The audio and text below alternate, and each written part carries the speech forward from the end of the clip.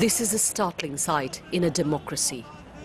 A deadly wall on the road to the national capital to keep out protesters. In India, the right to dissent is guaranteed by law. Farmers have for months been opposing new agricultural bills. During these largely peaceful protests, there have been internet shutdowns and activists and journalists have been jailed. Mandeep Punia was arrested while covering the protests. Out on bail now, he's accused of assaulting policemen. I was beaten with batons. Those of us who are showing what's really happening on the ground are being targeted by people in power, he told me.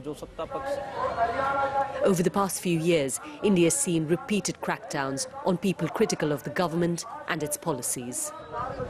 With these farmers' protests, though, for the first time since Narendra Modi became Prime Minister in 2014, India's actions have grabbed widespread international attention. Foreign celebrities and governments have urged this country to uphold democratic rights and freedoms. Climate activist Greta Thunberg was one of them. She also shared a file which listed ways of supporting farmers. A criminal investigation was started over the document. And now, Indian police have arrested this 22-year-old woman Disha Ravi for editing the file. She's charged with sedition, which carries a life sentence.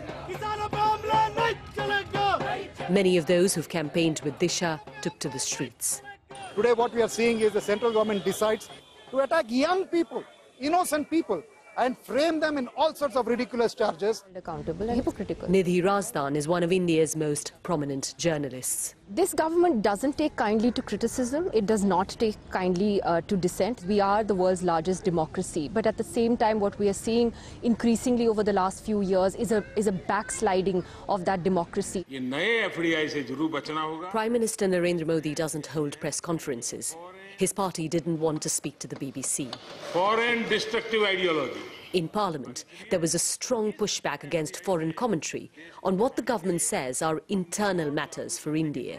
But civil liberties are universal, says Supreme Court lawyer Karuna Nundy.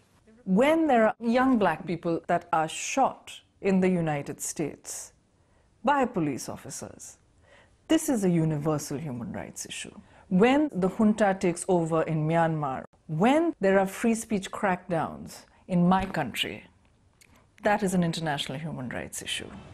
Many in India continue to challenge the government, but increasingly they're doing so in a climate of fear.